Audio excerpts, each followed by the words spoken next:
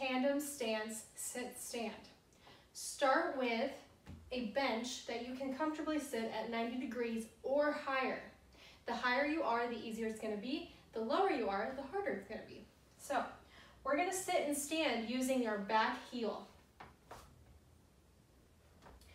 Once that gets easier, you can either lower yourself or take the heel off the front foot and slowly lift it up in the air. Try not to sit too long